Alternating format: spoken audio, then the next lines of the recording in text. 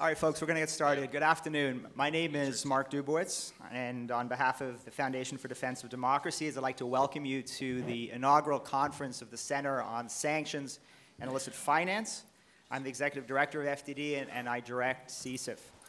Now, if you're uh, arriving late or if you haven't arrived at all, not to worry. And if you saw this weekend's Wall Street Journal had a great article on the benefits of actually not being punctual. Um, it's a fascinating article, very funny. The writer described that the rewards actually for being punctual include awful movie previews, um, insipid opening acts, bad bass solos, and, and dull opening remarks. And so, for those of you who've had the bad sense to show up on time, let me move quickly through these opening remarks so that we can get to the much more fascinating panels and the keynote speakers. If I could just have a few minutes of your time, just uh, I want to acknowledge the incredible talent that guides our work. FDD has worked on sanctions issues for now almost a decade. And in 2014, we just decided to start a dedicated center. And we were lucky to have a stellar and experienced team already in place. But we also wanted to bring in new talent to challenge our thinking, to expand the ambit of our work. And we really struck gold. And for those of you uh, who know Jim Rickards, who's one of our advisors at CSIF, and you've read Currency Wars and the Death of Money, gold is absolutely the this key to our future success, both as a country and certainly as a center. I'm going to continue plugging people's books all through my opening remarks. And uh, speaking of a, a, a, truly amazing book, uh, Treasury War by Juan Zarate, I want to talk a little bit about our chairman and senior counselor, Juan Zarate. Now, many of you know Juan, you've worked with Juan, uh, you've been hugged by Juan, and uh, you know Juan from, from Treasury, uh, where he led the creation of the Office of Terrorism and Financial Intelligence.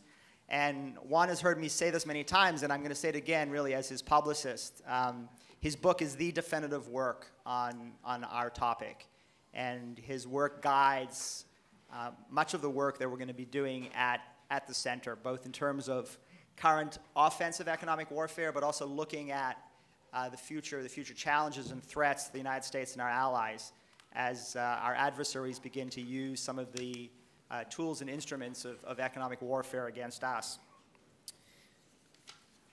Our other uh, senior counselor, senior advisor is Chip Poncy. Uh, he's a leader on anti-money laundering and financial transparency. He was the first ever director of the Office for Strategic Policy at Treasury's Terrorism Financing and Financial Crimes Unit. It's a result of Chip's work that FATF, the Financial Action Task Force, has integrated counter-illicit finance into its agenda and become an important global voice on, on financial integrity. I've never uh, had the pleasure of working with someone like Chip who has such deep technical skills and a, an acute understanding and really a visionary. And he's very much been instrumental in, in the creation of CSIF. So thank you, Chip. Juan, Juan and Chip really are truly fine gentlemen, uh, two of the, the finest public servants of the past couple of decades, and two of the most decent, likable, and honorable people in this town. And, and, really, it's been a great honor and pleasure to work with both of them in the launch of, of CSIF. To, uh, to my left is my colleague Jonathan Schanzer. He's our Vice President for Research, former terrorism finance analyst at Treasury, and really brings an eye for research and analysis that moves policy dials. He's done groundbreaking work on illicit finance and Sunni extremist networks. He doesn't shy away from challenging conventional wisdom. Uh, he certainly has been taking a good hard look at some of America's allies, uh, like Turkey and Qatar. And by the way, I'd commend a piece in the Wall Street Journal today by, by Jay Solomon a groundbreaking piece on, on Qatar and illicit finance, well timed for the Emir's visit to the White House today. I'm sure there was no coincidence. Um, by the way, if, if, you're not following John Schanzer on Twitter, you, you must. Uh, for, for a PhD, it's amazing how John can boil down uh, such deep and penetrating insights into 140 characters. So follow, follow John.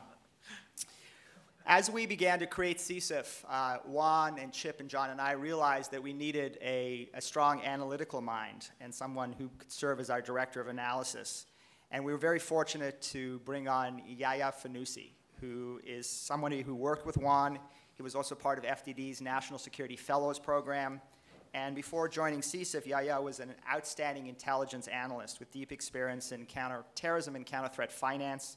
Uh, if you haven't met Yaya, please do. He is, uh, his personal story is fascinating. His transformation from, from math tutor to CIA analyst uh, is remarkable, and, and, we're pleased to have Yaya, who actually, unlike many of us at CSIF, knows how to add. So we are very, very delighted uh, to have these folks join the team, our existing FDD colleagues uh, who are our friends, and uh, who are really have developed deep expertise in this area. And finally, also a board of advisors of former senior government officials from state and treasury, Justice, Homeland Security, the NSC, FBI, DEA, former ambassadors and former intelligence officials, leading scholars, practitioners, and strategists from think tanks, academia, and the final community.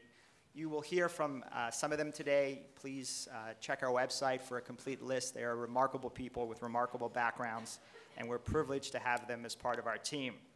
So now that I've hopefully spared you the pain of a long uh, opening remark, or, or perhaps not, I want to turn it over to Jay Solomon from the Wall Street Journal and, and just say this about Jay. Jay is one of those rare reporters who actually drives conversations in Washington on foreign policy, and he's going to moderate our first panel.